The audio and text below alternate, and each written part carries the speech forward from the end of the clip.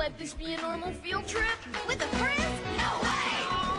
Cruising on down Main Street, you're relaxed and feeling good. Next thing that you know,